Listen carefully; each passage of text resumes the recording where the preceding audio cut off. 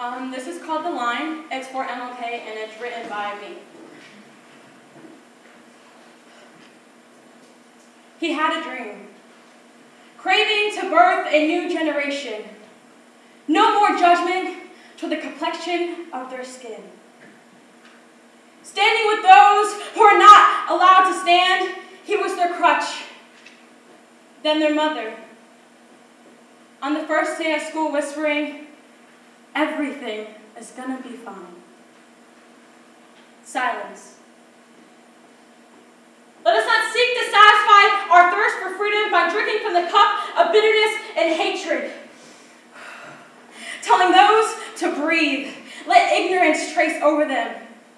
They may have wealth and malice, yet we have silence, power.